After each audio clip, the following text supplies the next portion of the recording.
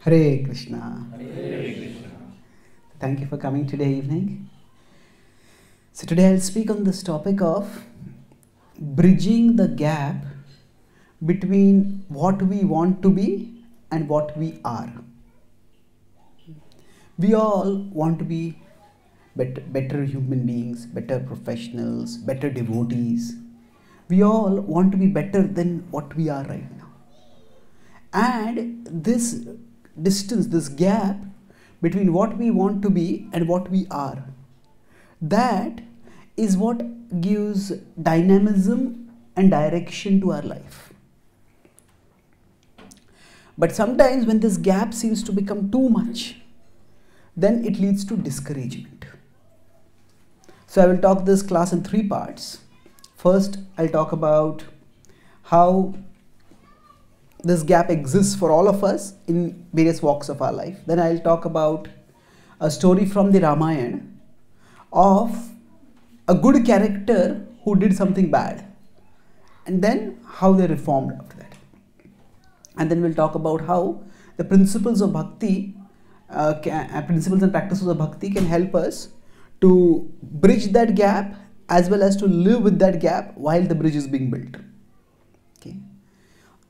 So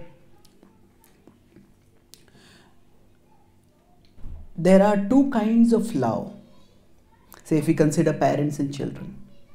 For parents and children, there can be two kinds of love. One is the love that guards, and the other is the love that guides. So, for example,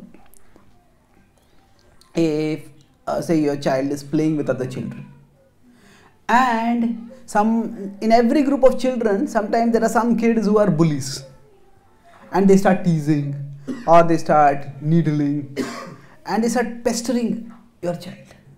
At one level, the natural instinct is to intervene. Oh, my child should not get hurt. Now, and especially when the children are very small, the parent's role is to offer the love that guards. Now, protect the children from all dangers. And that is, that is the way, especially an infant, will survive. The infant even doesn't even understand what is the danger. So, especially when the child is very small, we need the love that guards. But as the children start growing, not in the case of serious bullying, but in the case of small, small differences, the children they may fight, they might quarrel. In India, they say "katti." I will not talk with you anymore. And one day they say, "I'll never, never talk with you," and next day or maybe next after one hour they're chatting and be friends with each other. So children also learn to work out among themselves how to deal with things. But if the parents keep intervening, then that is where the parents may become overprotective. And then if if a child comes to be known as oh my this kid anything we do the pa- parents will come in between and other kids don't want to interact with their child also. And then what happens? The child may get isolated.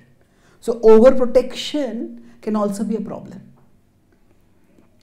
So what apply applies for us with our children also applies with ourselves. What do I mean by applies with ourselves? It, we all face troubles in life. Now some troubles may be caused by people outside us who do who unnecessarily make our life miserable. The scientists say that there are 10 million nerves. Of course, this estimate keeps varying, but there are 10 mil- what there are millions of nerves in our body. Some people seem to have done a PhD in how to irritate each nerve in our body.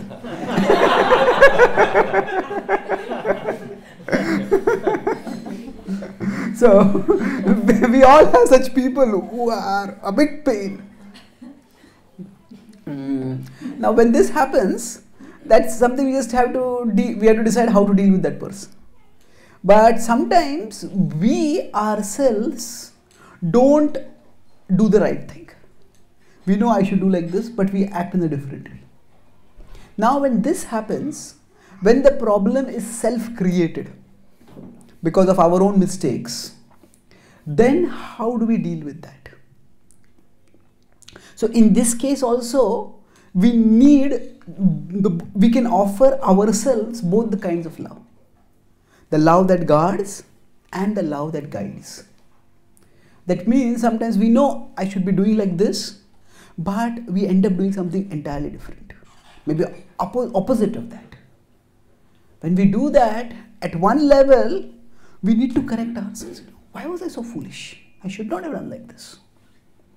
And that is the way we will be more alert when we act next time. Mm-hmm. When we remember the past, recently some of our ISKCON leaders asked me whether, because I write in many books, so they asked me whether I can write history of ISKCON. We have the history of Srila Prabhupada's life in 1977, but there is no history of ISKCON after that. Of course, there are different people who are in different projects, but no. So then I did a preliminary little bit research about it. I found it's an extremely complicated subject. Because what happens when historians say that history is like permanently disputed territory. so, for example, if some con- some conflict happened, this in every incident, there the, every story has how many sides? No, three. My side, your side, and the right side. now, it is not that I will deliberately tell something wrong or you will tell deliberately something wrong. It is just that uh, life is very complicated. So, we focus on certain things in life. Say, for example, right now you are sitting. Now, if somebody after this program asked you, okay, where was the program? Can you describe the room? Now you, because you're sitting here, primarily you'll be describing, okay, how spacious was the room? Was it very crowded? Was it too cold? Was it too hot? Now you may not remember, say for example, how many windows were there in the house or how many doors were there or how many drawers were there. You could have so many details of the house which are irrelevant for us. So, just as even in the present, each of us focuses on some aspects and neglects other aspects. And that we do based on a functional need. So, just as we, that this is not intentionally that we want to forget some things. Sometimes it may be, but most of the times we just focus on what is functional. So, similarly, when we recollect what has happened in the past, our recollection is also functional. So, the purpose of memory is not to recollect the objective past. It's, it's almost impossible to find out objectively exactly what happened here and there. Now, who said this and they said this and they said this. It's, it's very difficult. You have to actually do some kind of investigative journalism to find that out. The, when we recall, when the purpose of memory is not so much to recollect the objective past as to prevent the repetition of the destructive past. That means in the past, okay, something bad happened to me. Now, what, did I do anything because of which that bad came upon me? And if I can learn that, then I can prevent it. So, ultimately, we can't have an exhaustive record or even an objective record. We can't have objective record because we are subjective beings and we have particular ways of looking at things. So, of course, some ways of looking at things are more accurate than others. Some people might just remember out of 10 things only one thing, and somebody might remember seven things. So, just because everything is subjective doesn't mean uh, nothing is authoritative. Some, may, some points may be more authoritative than others. Now, why I'm talking about this in our context of bridging the gap between what we want to be and what we are is that whenever some something bad happens in our life and that happens because we have done something wrong hmm, then at that time we have to use our intelligence and our memory to look back at what happened. So i talked about the love that guards and the love that guides. And there are sometimes we make some mistakes and just uh, we are there is a conditioning maybe we decide i will not get angry and then sometimes some people make a resolution i will not get angry and then they start getting angry.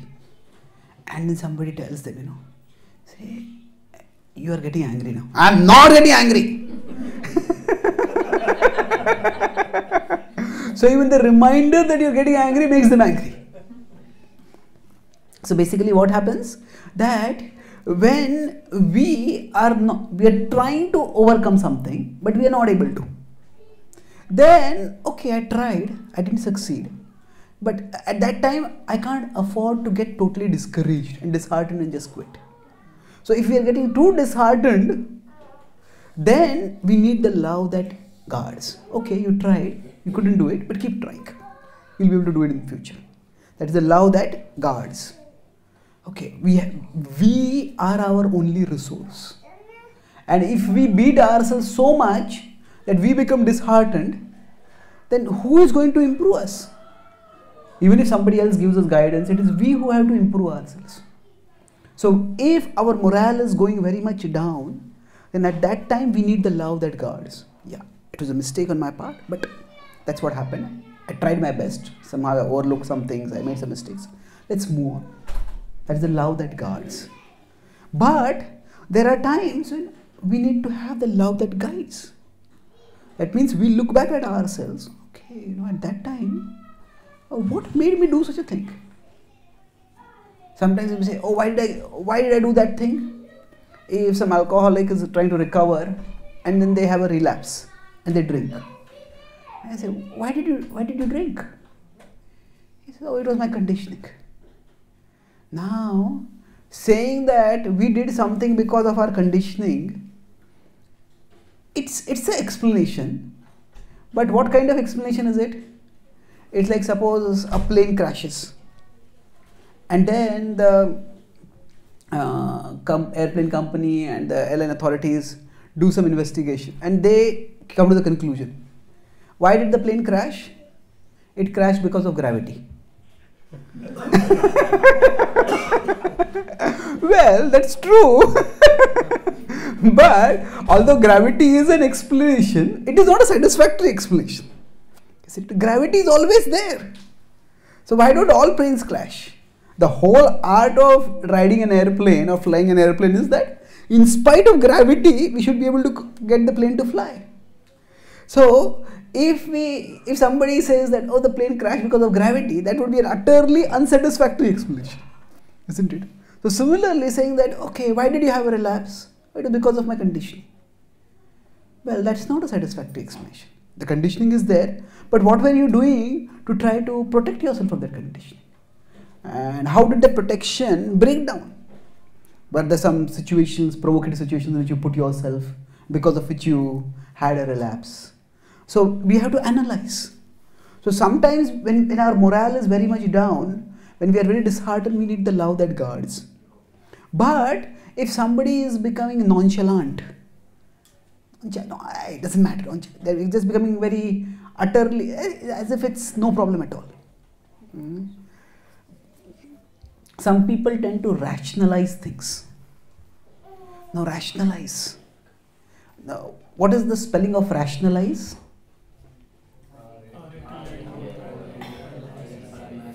Yes, R A T I O N A L L I E S.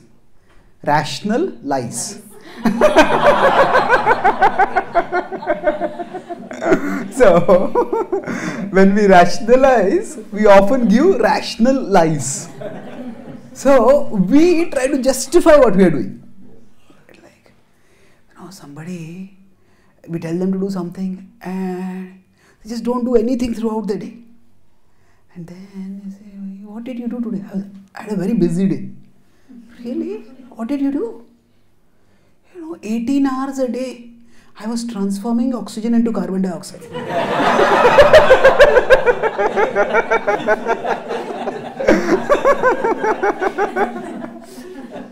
well, that everybody does, isn't it?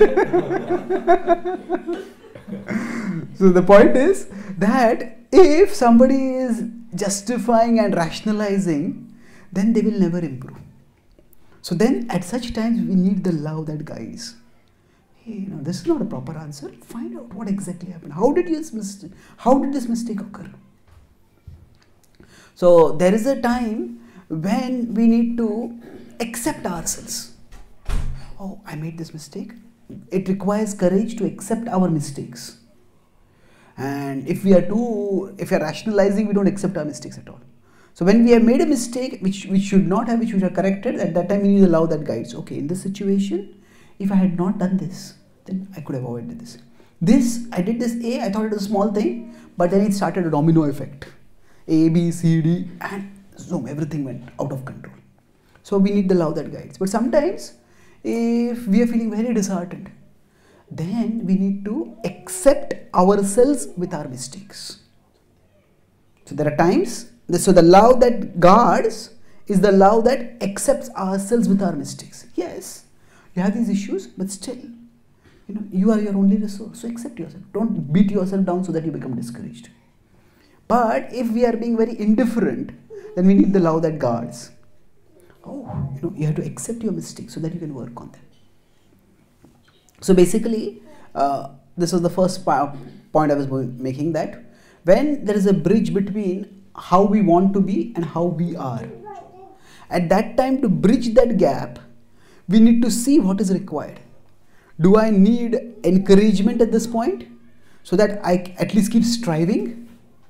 Or do I need chastisement? You know, why did you do something so stupid? And then administering what is appropriate will be the key to move forward. So this was the first point. Any questions or comments about this till now? How do we get the courage to accept the mistakes we make? How do we get the courage to accept the mistakes that we make? Two, three different ways. First is that, as I said, we are our only resource. Suppose you have a car which is old and which makes a lot of noise, which consumes a lot of fuel, which doesn't even go very fast, and it's very irritating.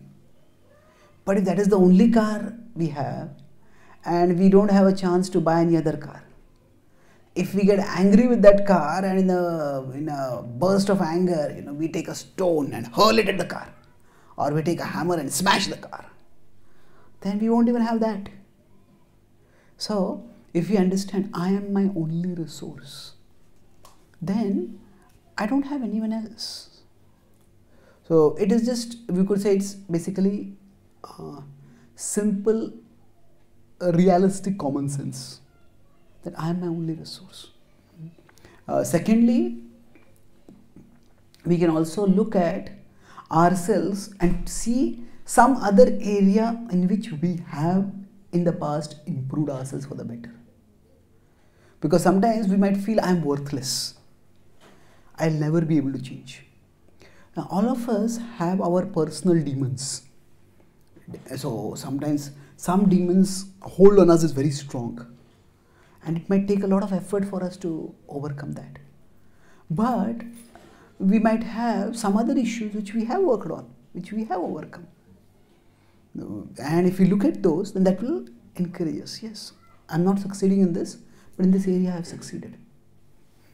And that can help me to us to move on. Then I was going to talk about this in the third part of the talk later. Uh, but what spiritual wisdom tells us that each one of us is a spark of the divine. Each of us is a part of God. And if God has God has made us. That means to dislike or detest ourselves is to detest a part of God. So that is unhealthy. In fact, one of the examples given by one Acharya Bhaktisiddhanta Thakur, he says that sometimes some people get angry with God. They resent God. They they uh, they start hating God or loathing God because of the bad things that have happened in their lives. But that is like, he says, you know, resenting God is like spitting at the sky.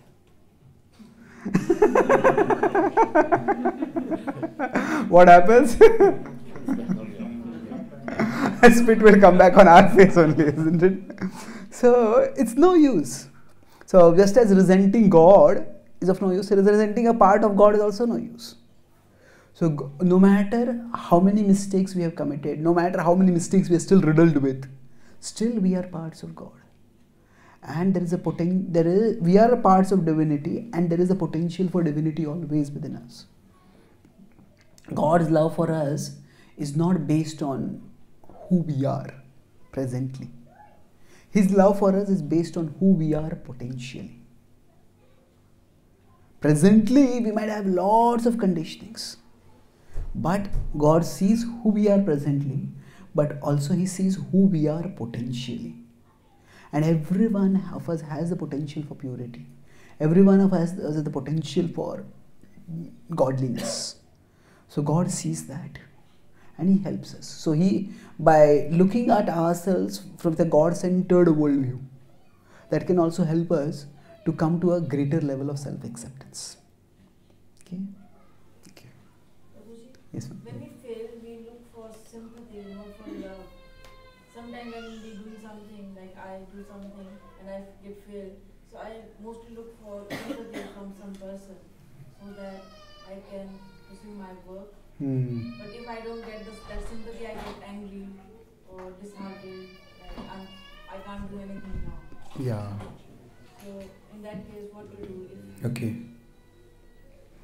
So, when we make a mistake, then we need some sympathy from someone, somebody who will understand and still encourage us. If we don't get that, we tend to get angry or resentful.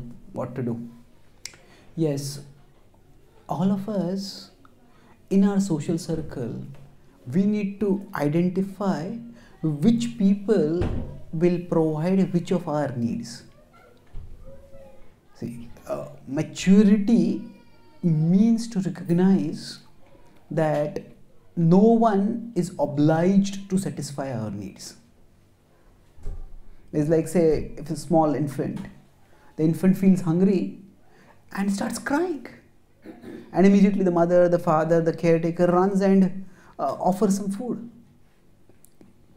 But if an adult is hungry and the adult starts crying, well, nobody may come running to feed the adult, isn't it? Now, that doesn't mean the adult's hunger is a less serious need than the infant's hunger. But what it means is the adult has to take responsibility to get that need fulfilled. It means, okay, maybe I had to cook food, maybe I had to go to someone and ask them to provide me some food, I had to go and buy something.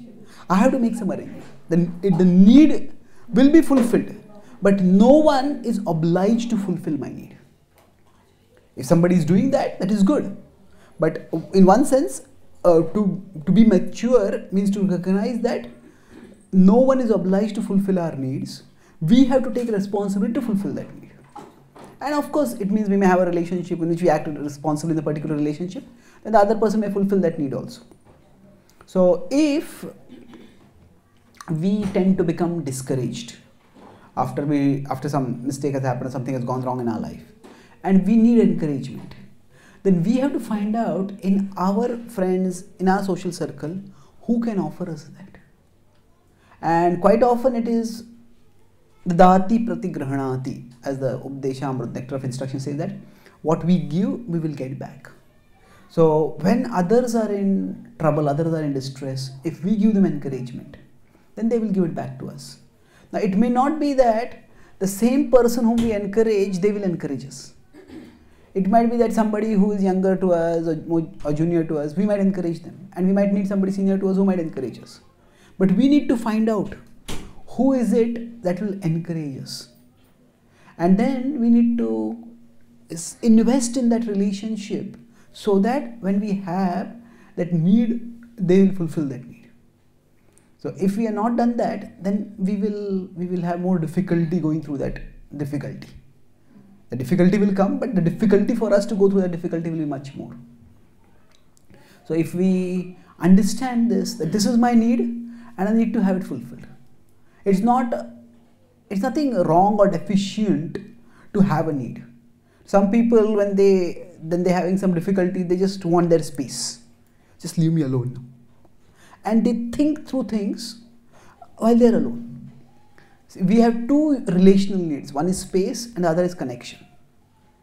Now, primarily we need connection, but there are times when we need space also. So we have to see what is our need, and then we have to take responsibility to make arrangements so that that need is fulfilled. And if there is a kind of mistake which we tend to make repeatedly, then it is good that when we are ourselves in good spirits, hmm, at that time we can write a letter to ourselves. When you get, see, right now things are going well and you're doing well also. Sometimes you'll go through difficult times, so write it down. This is how we can apply what Bhagavad Gita 6 5 says that Uddhared atmanatmanam natmanam avsadayet. Atmaiva yatmano bandhur atmaiva ripuratmanaha. Krishna says, elevate yourself with yourself. Don't degrade yourself with yourself. For you can be your friend and you can also be your enemy. So that way, if we, when we are in good spirits, we write down what all is good in our life, what all is right in our life, and how, despite the tough times that we go through, still life is worthwhile. The struggle that we are going through in life is worthwhile. It's meaningful. So we uh, we treat ourselves like someone we care about, and we write down. If somebody, if some friend of mine would be discouraged, how would I encourage them? In that mode, write a letter down and keep it with you. And then when you are in low spirits, if you don't have someone who can offer that encouragement, then we can make that arrangement to offer ourselves encouragement. But if we have to think about those encouraging thoughts at that time, it will be very difficult because the mind's emotions have completely blocked our thinking.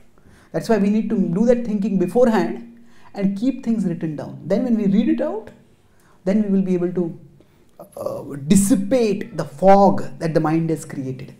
The fog of negativity we can dissipate, and then again we can have some more positivity in our life. Okay. okay. So, first I talked about how the love that guards and the love that guides. We need the appropriate kind of love when we find this gap between how we are and how uh, we want to be. Now, in our epics, the Ramayana and the Mahabharata, broadly there are two kinds of characters. We can say there is the, there is the white and there is the black. So, for example, Ram is virtuous, and who is the opposite of Ram? Ravan is could say vicious.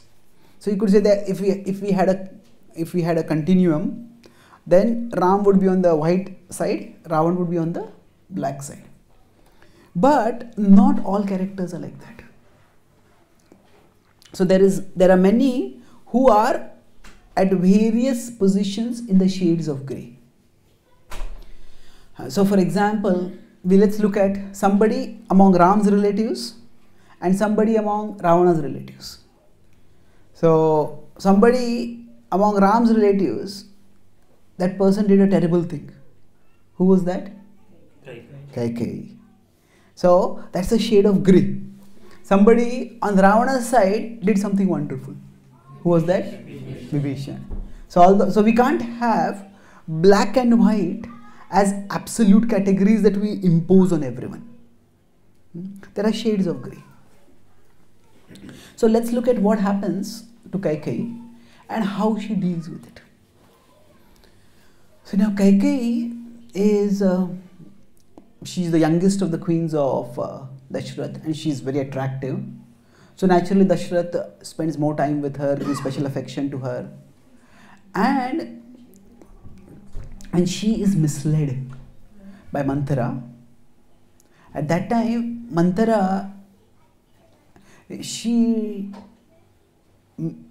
poisons the mind of Kaikeyi that actually when Ram will be enthroned as the prince regent and then the king, you and your son will be deprived. And then once Ram becomes the king, Ram will see Bharat as a threat. And he may he may imprison Bharat based on trumped up charges.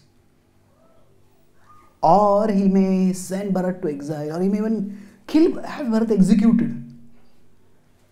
Now none of this has any uh, remote connection with reality also. Because Ram and Bharat, they were very close, they were brothers and very close friends.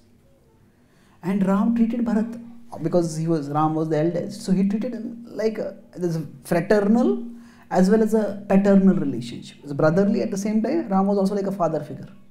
So it is out of question.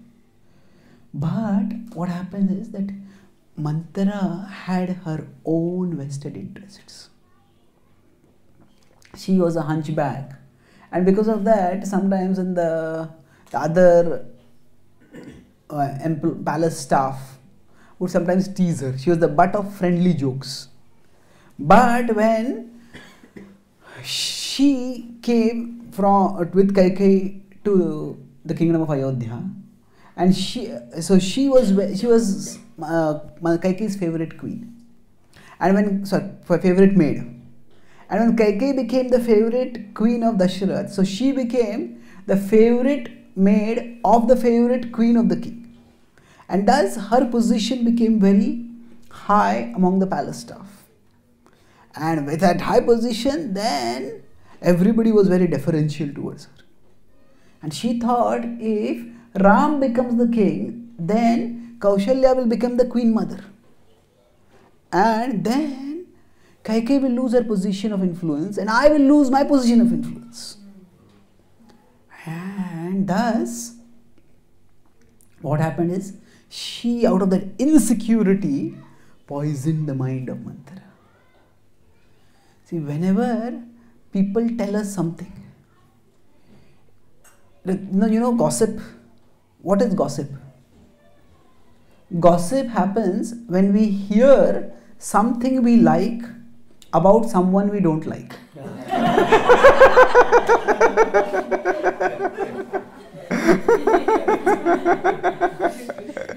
so we all have our our likes and dislikes among people and if someone we don't like and we hear they've done something bad. Oh really? Tell me more tell me more.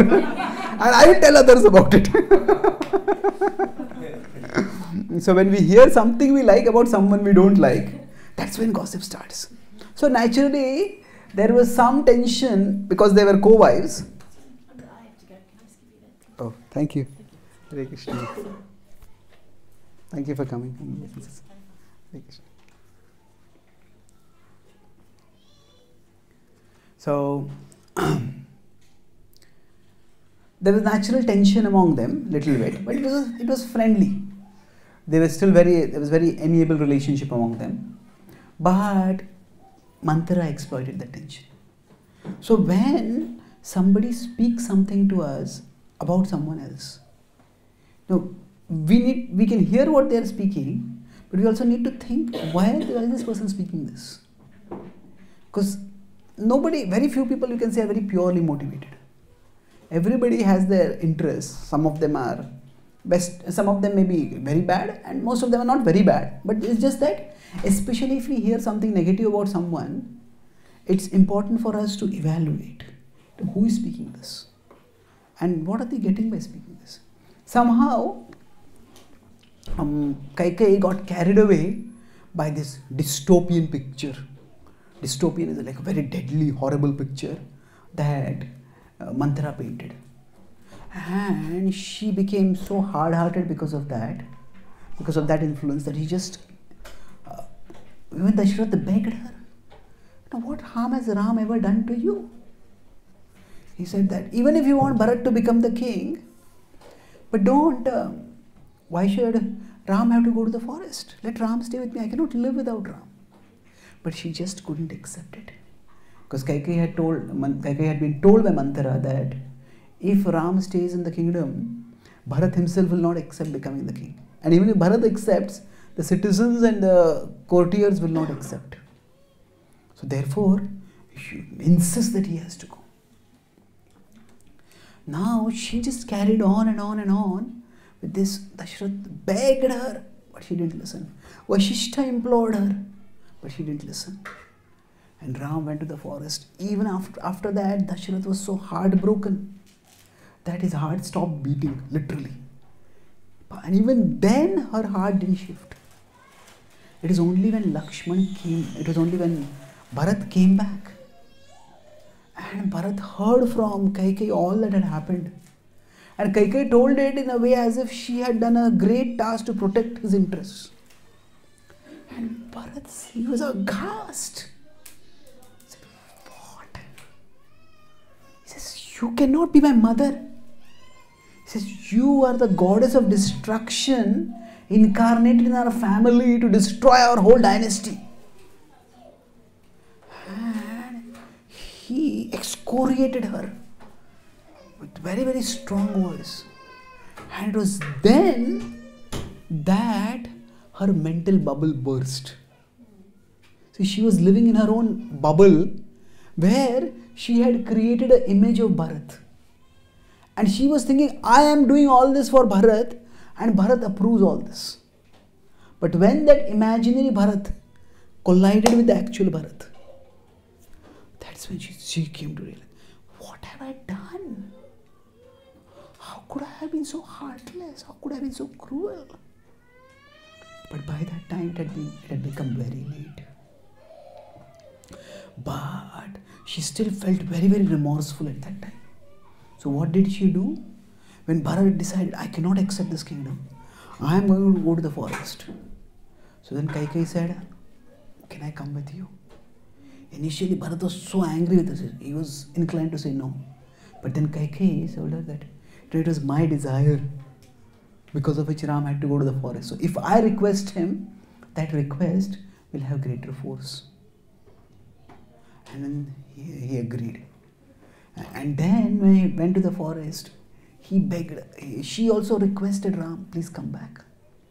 But Ram said no. He said, actually, my father had given me this instruction. Now, why he gave me this instruction, that is entirely between him and you. But he had given me this instruction. I have given the word. I cannot change that word. So, what happened? She could not change it. But at least she expressed you know, that I should not have done this. And she regretted it. She did what was in her power to change it. And we see that in the Ramayana, later on, Kaikai is never demonized. When Ram comes back to the forest, at that time all the three mothers are there to welcome him. And Ram doesn't hold it against Kaikai. In fact, Ram specifically tells Lakshmi, uh, tells Bharat, while they are going back, that don't hold on to your anger towards Kaikai. Ram takes a more philosophical uh, view of things and he says that it was the will of destiny. And Kaikai was simply an instrument of that destiny. So don't hold it against her. So Kaikai regrets, but Bharat doesn't hold it against her, and Ram doesn't hold it against her. What has happened has happened, and afterward, when Ram comes back, Kaikai doesn't object at all to Ram's Ram's coronation as the king, and life moves on. So it was a terrible mistake on her part, but it is not held against her forever. That mistake had its consequences, but they all moved on. She did what she could to correct it, and everybody moved ahead. It was very painful what she did, but it was not held against her forever. So, of course, this is a very drastic example of somebody, it's like they do not only something bad, but they do something horrible, mm, horrendous, horrifying. But even that is not held against them. So similarly for us, this was the second part. The last part I'll talk about is I especially focus on this idea of how Ram saw this whole situation and how Ram dealt with uh, Kaikai. And based on that, we can draw some lessons about how we can deal with ourselves. So, if we consider in our life, we all sometimes do things that we are not proud of. Now, that is just a simple, that is a more polite way of saying that we are embarrassed of or we are ashamed of. Mm. when we do such things, at that time, uh, it's how do we deal with it? So basically, I talked earlier about the love that guards and the love that guides. So we need to try to make sense of ourselves. Why, why did I do such a thing? What made me do such a thing? So she recognized, Kaikeyi recognized that it was her naive trust in Manthara that made her do such a thing. And she did not let Manthara think for her. She did that protection. So for all of us, when we do something wrong, we have to see, we have to look back and learn what made me do this. And then we try to create protection from that repetition. So there are some things which are just circumstantial and uh, so there is say for example if a house is made of wood then even if somebody leaves a small spark over there uh, maybe a small lighted can lit candle or a lit uh, cigarette butt or whatever the whole house can catch fire. That's inflammable and extreme caution is required with respect to even a slightest spark being uh, cast carelessly anywhere. But if the house is made up of say concrete or something then unless somebody is going to really pour infl- infl- oil or inflammable material or deliberately cause arson it's not going to burn so in our case if say some fire breaks out we have to look at what caused that fire. If we understand that actually with respect to this my house is inflammable that means my consciousness is such that i am vulnerable to this. That this can happen then we have to exercise extreme caution that if the house is made of wood then we have to make sure that nowhere there is there's any sparks left carelessly. So if we understand that okay this is a particular particular area where i am vulnerable. Many on many occasions the best way to deal with temptation is to not deal with temptation. That means if somebody is an alcoholic and they're trying to recover and their house is on top of a bar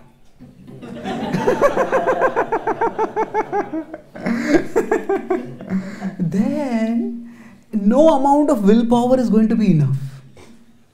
Why? Because even if we have strong willpower, sometimes we all have urges. And those urges have surges. there are urges which come sometimes, suddenly, sometimes they rise. So, if when the urges have surges, at that time, if the indulgence is very easily available, then it's it's willpower is not going to work at that time. So we need to create some distance. Now, of course, from some provocations we cannot create distance, in the sense that say some situations are just a part of our life, and if those are part of our life, then we need to create a buffer for ourselves. If say we know there are some people who are who just uh, tend to press our buttons they just then if you have already had a difficult day and maybe five six ten things have gone wrong and then if at that time we try to deal with that person it's we are setting ourselves up for trouble. Sometimes we might decide this let's deal with this later.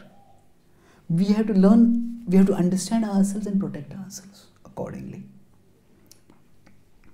So for uh, it was there was some tension with Kaushalya, but it was mostly that she let herself hear submissively from a wrong source. So that was the mistake. She pinpointed the mistake and she dealt with it. So similarly, if we can look back, okay, this is the situation, and this was the trigger.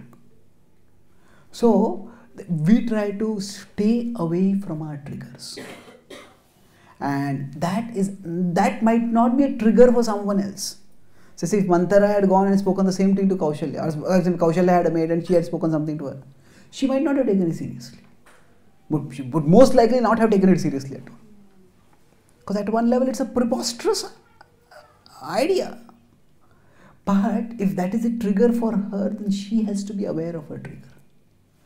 And we don't have to be, we don't have to beat ourselves up. Why am I so vulnerable? Well, that is how I am.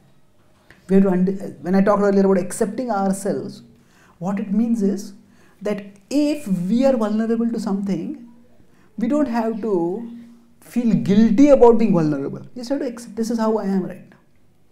So, in some ways, it is good to treat our mind like our body. What do I mean by treat our mind like our body? See, our body has certain physical limitations, and there are certain bodily or physical reactions to life events. Say, for example, if some people are very vulnerable to cold, little little temperature drops and they need two, three warm clothes. Some people they seem to be almost invulnerable to cold. It's like it seems to be freezing and they just go around with a single dress. So if somebody starts saying, I'm feeling cold, we tell them, Why are you feeling cold? Don't feel cold. what do you mean don't feel cold? I am feeling cold. So then if I am feeling cold, then I, that I understand that this is a physical reaction of my body to this event. So then I have to deal with that physical reaction by the appropriate preparation. Maybe I don't go out in cold or I get adequate warm clothes. So similarly, just as there might be particular physical reactions to life events that we need to deal with, similarly there might be particular psychological reactions to life events that we need to deal with. So if some of us may tend to get depressed, some of us may tend to get angry, some of us may tend to become resentful, some of us may tend to become judgmental, whatever it is. If you understand this is a typical reaction that I tend to have, then it's important that we prepare ourselves for. So it's not that uh, we can't change it, but sometimes changing may require time. Sometimes some changes may not happen even in this lifetime. So if somebody is very very vulnerable to cold, then that's the body they have, that's the way they, they have to live with it. So sometimes if somebody is very vulnerable to depression or anger or whatever, actually anger and depression are two sides of the same coin. When anger when that anger is directed outward, it becomes aggression. When anger is directed inward, it becomes depression. When I beat myself up, why am I not good enough? Why am I like this? Why am I like that? That gradually leads to depression. But if that is the way we are, it may change gradually, but we understand this is my trigger. And we need to guard ourselves from it. Of course, after the trigger comes, it's not irrevocable that we have to become triggered. We can also prepare to protect ourselves. But one part of protecting ourselves is keeping a distance. So, if somebody go decide somebody is alcoholic goes to a bar and then they beat themselves why did i drink? Well why did i drink? is a wrong question to ask. The right question is why did you go to the bar? isn't it? So why did i do this thing? that is not a very helpful question if the situation is such that in that case we are very vulnerable then why did i go into that situation? Could i have done anything to avoid that situation? So we need to sometimes uh, we can't always take responsibility for our actions in the sense that in certain situations certain actions will just happen from us. So then we need to take responsibility to ensure that we don't go in those situations or at least we try to minimize our exposure to the situations uh, the the human will is not omnipotent. Om- not omnipotent means in the sense that we cannot uh, uh, resist provocation or temptation unlimitedly. So we have to understand our limits and stay away, stay within our limits. And this is where our spirituality can help us immensely. If we understand that we are souls we are parts of krishna then what happens is our connection with krishna can give us inner strength I'll conclude with this metaphor now, which maybe in a future class I'll elaborate more. But uh, our urges they can come like waves. When the waves come, at that time it's very difficult to fight against the wave. If we are in the ocean and a wave is coming, say, I'll not move, I'll not get swept away by the wave. That's almost impossible. But what we can do is find an anchor. Now, even when we have an anchor, some um, immovable object that we can hold on to, even then, when the wave hits, it is going to be difficult because we have to exert our energy to maintain our hold on the anchor. But it is relatively easier. If you compare the likelihood of ourselves just resisting the wave as compared to the likelihood of holding the anchor, the, it's much more likely if you can hold on to the anchor.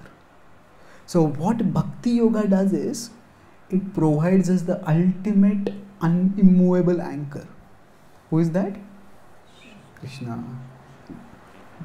Now, it, now the wonderful thing is that normally an anchor is something that we hold on to. But Krishna is the anchor who also holds on to us. So, in that sense, He is a personal God who cares for us. And because of that, if we try to hold on to Him, we do as much as we can, then Krishna will do what we can't. Sometimes we feel, oh, I can't hold on to this. No, we just do what we can. If we do what we can, just try as much as possible, Krishna will do what we can't. And we have to have a healthy, healthy vision of God. Now, God is not uh, is not a critic; He's a coach. God is present in our hearts. His purpose is not to catch us when we do wrong. His purpose is to catch us when we fall and to lift us up. It's like, say, if a child is learning to take the first steps in walking and the mother is nearby and the child starts walking and the child starts falling. Now, at that time, the mother is not start uh, clapping and laughing, hey, you fell down. No. The mother will run there and catch the child. Isn't it? So Krishna is like that. He his purpose is not to catch us when we do wrong. Hey, I caught you, now I'm going to punish you. Not like that. His purpose is to catch us when we fall. He's there to help us.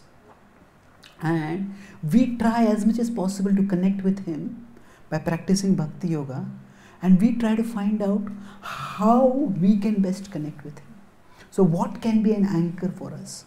So for some of us, it might be kirtan.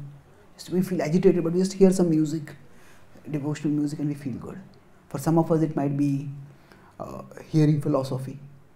We feel agitated, but as soon as we start hearing some class, we get absorbed in it. The agitation goes out.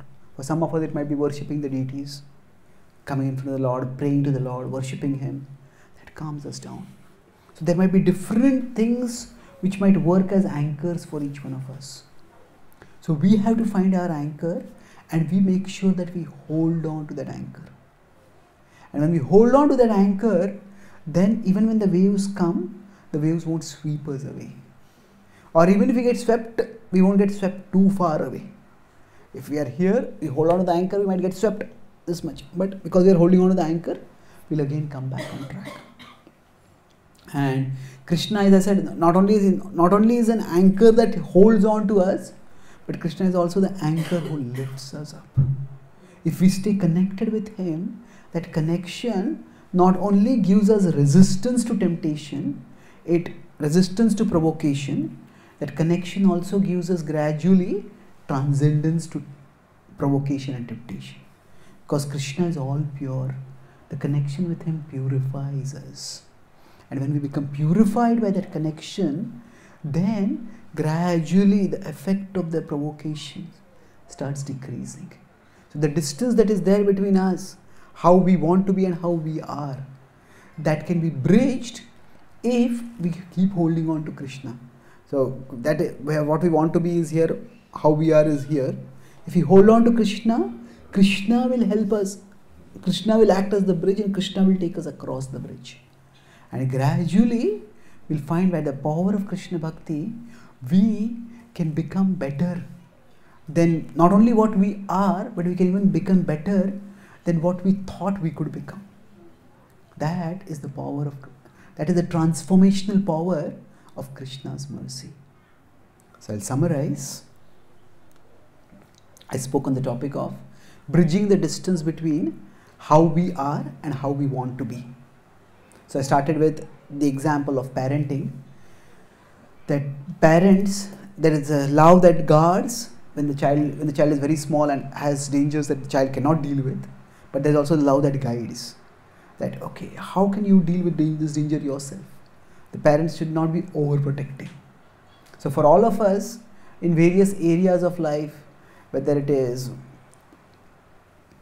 our personal life our relationships our spiritual life we all would like to be someone better though we try often there is a big gap between the two. So while dealing with that gap we need to parent ourselves. And if we are being very feeling very discouraged then we need the love that guards okay just accept yourself. And because we are our only resource just keep moving on. We don't we can't afford to be demoralized. But there are other times when if we are just being uh, casual and nonchalant about our mistakes. And uh, then we need the love that guides. Understand what made you do this. Say if somebody has conditionings and they say attribute their relapse to their conditionings. That's like attributing airplane crash to a to um, uh, gravity. That is that is an explanation but it is not a helpful explanation. So we need to understand okay what made me do this? And then we try to correct ourselves so i talked about the story of kaikai in which uh, the main theme was how because of her naive trust in manthara she did something horrendous. But after she realized what wrong she had done then she did what she could to correct it. And neither ram nor anyone else held it against her forever. I mean she didn't hold it against her forever she resumed her normal uh, virtuous behavior. And then i talked about how this can be applied in our lives that when we do something which we know we shouldn't be doing then we have to look at what happened exactly. So we need to analyze. I talked earlier about how mm, the purpose of memory is not to understand the objective past because we all have different perspectives so we need to focus our memory to correct or to prevent the repetition of the destructive past. Okay don't get lost in the head. Why did this happen? Why did this happen? Why did this happen? Just focus you know okay? What went wrong and what did i do to make that thing go wrong? And then check how we can prevent it. So sometimes we need to use our willpower to resist provocation and sometimes we need to use our willpower to resist going into a provoking situation. So we need to find out our triggers and stay away from those triggers. And if we are we have certain triggers we don't have to feel guilty about them. We see that that is say that is just a psychological reaction to a life event. That's how our mind is. Just like we might have a physical reaction to a life event. Our body might be vulnerable to cold. Similarly we might be vulnerable to anger or depression or resentment or whatever so when so once we understand our triggers then we can guard ourselves and then i talk about the love that guides in terms of we focus not so much on uh, fighting against temptation or fighting against provocation as holding on to the anchor. Provocation is like waves which will keep coming. And Krishna is the ultimate anchor. He is not just an anchor that we hold on to, He is the anchor who holds on to us. And His love for us is based not on who we are presently, but also on who we can be potentially. And thus, He doesn't catch us when we do wrong. He catch He doesn't He catches us so that when we start doing wrong, He picks us up. Not He doesn't let us fall. So we find out how we can best connect with Krishna and make that anchor readily accessible to us. And if we keep holding on to Krishna steadily, then He will take us along, He will be the bridge for us, and He will take us along the bridge from where we are to what we can be. Thank you very much. Hare Krishna.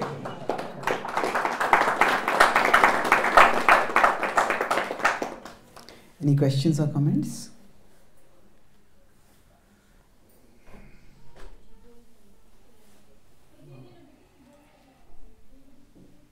Um, just a quick one. Most of the times, as you said, there are places that you don't put yourself in that provocative situation, like going to the bar and not drinking is impossible, so don't go to the bar. Sometimes you're put in situations like at work or places, you know, that you have to deal with certain people. Yeah. And in those cases, how do you kind of there will be triggers of course and you know what the triggers are but it's not always possible to when you are 24 7 sometimes in that situation yeah. or 8 hours a day working Yeah, if we are we, we know that we get triggered, but we can't avoid that provocative situation, Yeah. then what do we do? Yes, that is uh, the we could say that is the challenge that destiny has put in our life. so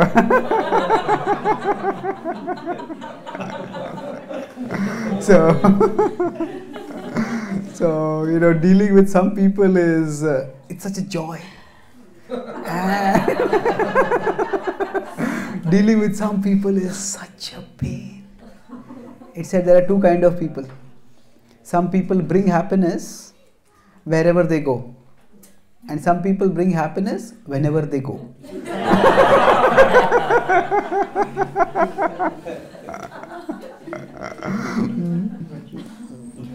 so I would say that we just need to prepare ourselves as much as we can. It's like say if we know that a road has potholes, then it would be wonderful if we could avoid that road or the potholes could be fixed. But if we can't do either, then we just have to drive more cautiously. And at the very least, we can say if we are driving cautiously and slowly, the potholes won't jolt us that much. So, similarly, sometimes we just have to go in our life journey uh, through people, through paths, or we have to interact with people where the jolts can't be avoided. But if we are cautious, they can at least be minimized. Mm. And to be fore, forearmed, eh, to be forewarned is to be forearmed. So we can try to prepare ourselves. Now, what can we do? Say, for example, if we are going to have a in our workplace or somewhere, we're going to have a difficult interaction. Then maybe before do that, before you do that, take a pause, take a few deep breaths, maybe pray to Krishna, chant a few mantras, do something to calm yourself. Even in the workplace context, we can have a little space for ourselves and do some things. So we find out what can give us some strength and at least try to do that. And then beyond that, so at one level we can we can see Krishna or seek strength from Krishna to deal with that that particular difficult situation or difficult person. But another level we can see that actually even through this person, Krishna is giving me an opportunity to grow. How is that? See, normally our interactions are reciprocal. Now you do like this, then I'll do like this. So if you are good to me, I'll be good to you. If you are rude to me, then we tend to why should I be polite to you? It's like that. And that's that's an understandable, normal way of reciprocating. But if we are trying to grow spiritually, to be Krishna conscious means to see that in all our relationships, we are interacting not just with that person, we are also interacting with Krishna. So for a devotee, Krishna is always present as a third person in every in every interaction, in every relationship. And we act in that relationship in a way that will serve Krishna and that will please Krishna. So suppose somebody is working in a say a mall and say they are selling clothes. So sometimes it may happen that there are some customers who come and they want to look at maybe 500 clothes and they don't take anything of that. and then after that, the attendant over there gets irritated. Normally, whenever any customer comes, all the attendants come to the customer because they want to they want to get the credit for making the sale. But some customers come and all attendants go away from them. so now, if there's a customer like that and an attendant is attending to them, now this attendant, uh, despite the customer being uh, cranky, uh, still the the attendant attends. And finally, the customer says, "I don't know, everything is useless. I'm going." And then buy anything. you could say that that interaction was still a failure. The attendant couldn't make that sale. But the attendant also knows my salary is not coming simply from this customer. There's the boss who's maybe there are cameras over there and the boss is watching. So if the boss sees and the boss also knows this is a difficult customer. So although the attendant may not make the sale, the boss may come and say, you know, how to deal with tough people. You, you stay cool. And the boss may promote this attendant. You take care of this whole floor and you train other attendants how to deal with tough customers. So, although that interaction may still remain a failure despite all the tolerance and all the patience of the uh, attendant, but the attendant will succeed in getting promoted because the attendant will please the boss. So, when we are with difficult people, we need to know that Krishna knows the difficulty we are going through. And if we try to have that attitude, even in a professional situation, familial situation, wherever it is, ultimately, if we are trying to practice bhakti, everything we are doing is in a mood of service to Krishna. So, if we have Krishna, how can I serve you in this situation? If we have that attitude, then we we don't just let that other person walk over us, but we don't let that person's actions alone determine our actions. You see, okay, sometimes we may have to take a firm stand because that person is being domineering and abusive. But sometimes it might be the person is irritable, but it's a small thing. We can tolerate it. So if we see that not just as a quid pro quid, you did this, so I'll do this, but rather, how can I serve Krishna in this situation? Then sometimes by being with difficult people and working with difficult people, we may actually grow more in tolerance and devotion. We grow in tolerance, not intolerance.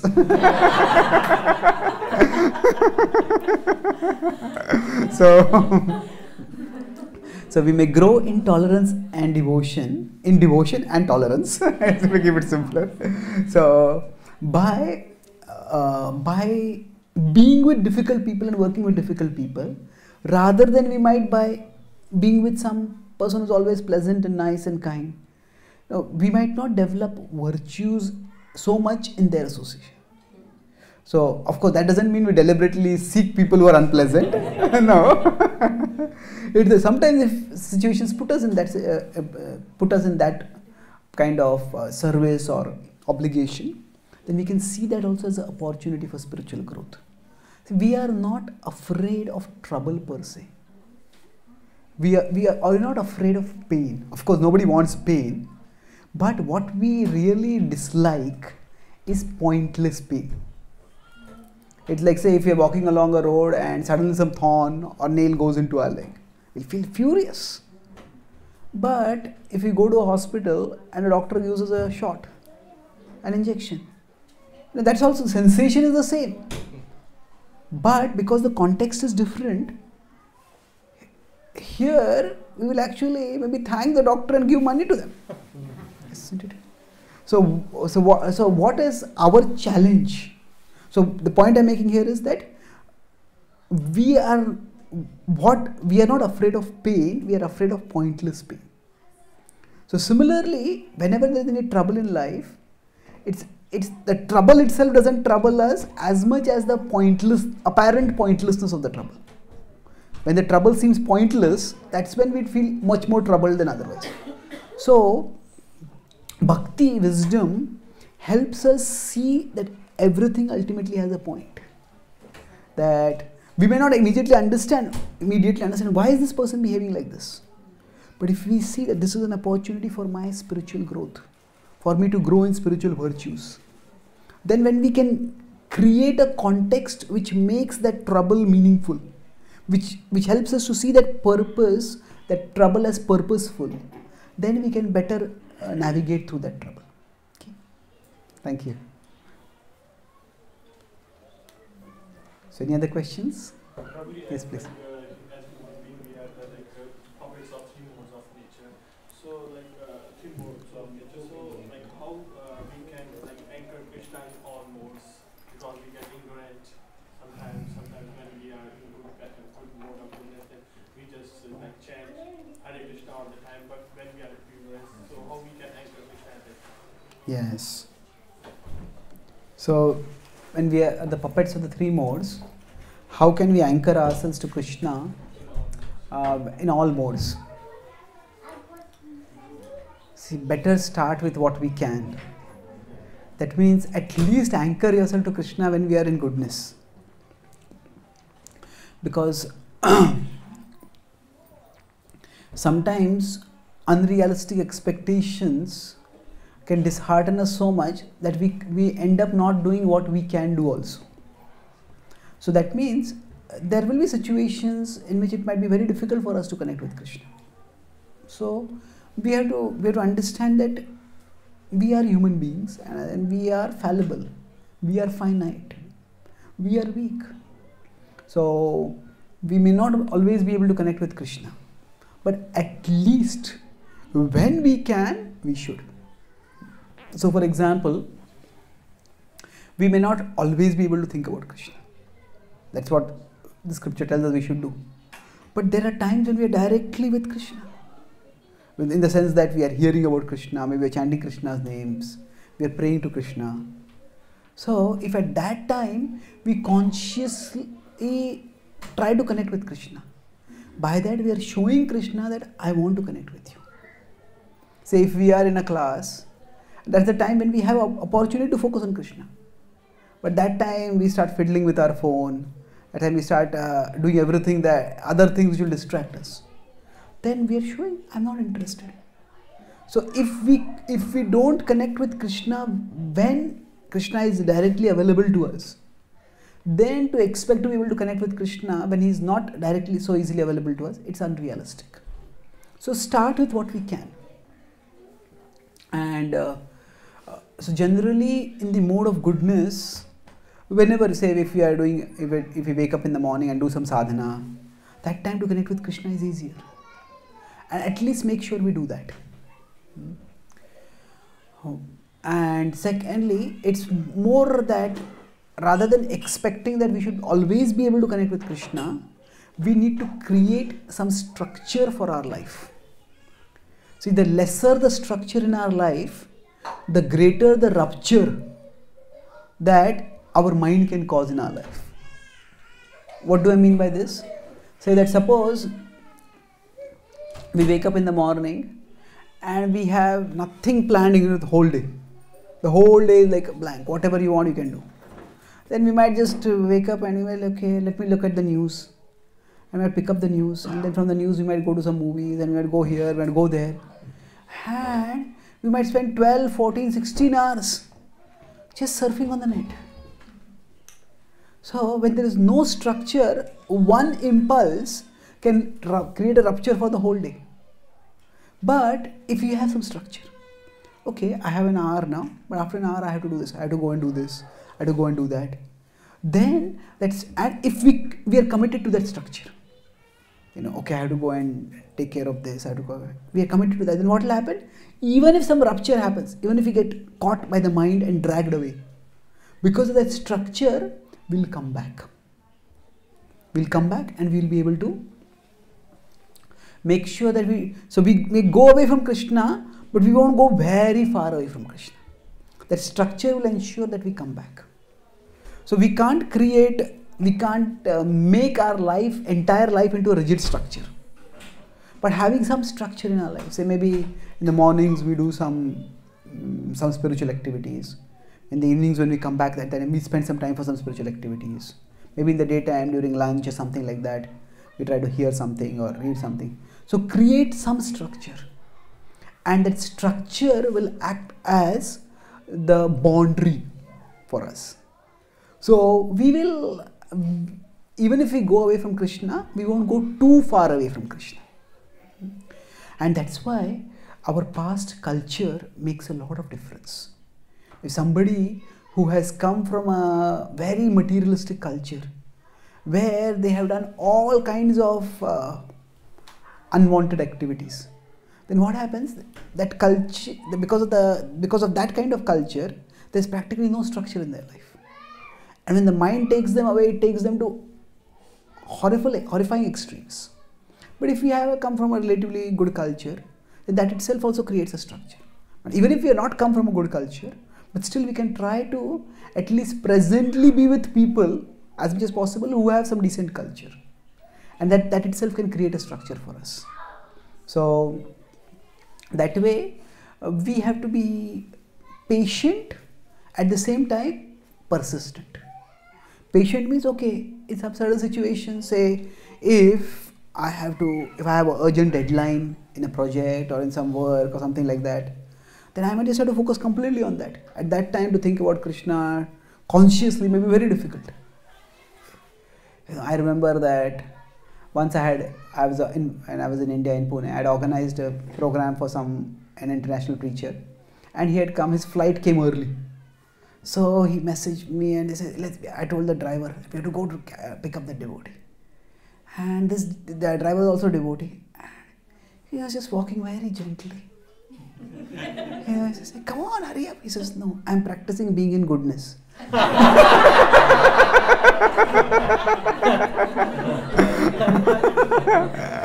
so I said, you know, being in service attitude is more important than being in goodness. so if sometimes something urgent is required, we have to do that. And that time we may not be consciously thinking of Krishna, but we are doing it for Krishna. Hmm? So gradually, what will happen is if we connect, keep connecting with Krishna, initially Krishna may be in the background, but gradually Krishna will start coming in the foreground. Say first time if we give, if, if you start if you start talking about Krishna, start giving classes. First time you give a class, you're so conscious, you know, how are people, what are people thinking about me? Uh, how am I speaking? We're very, very self-conscious. But gradually, if you keep speaking, then where you are speaking, you're conscious of that. What you are speaking, you're conscious of that. How the audience is uh, responding, that we're also conscious of. But beyond all of it, we're conscious. I'm speaking about Krishna. I'm speaking for Krishna. So that comes gradually. So if you just keep practicing bhakti, then from the background of our consciousness, Krishna will come to the foreground. And then even we, if we go into the lower modes, so when we are in the higher modes, Krishna will be in the foreground. Then even if we are in the lower modes, Krishna will be in the background. He won't be completely out. So let's begin with what we can do and create a protective structure by which Krishna will gradually come from the background to the foreground. Okay? Thank you. So thank you very much. शिल प्रभुपाद की गौर भक्त वृंद की ताई गौर प्रेमानंदे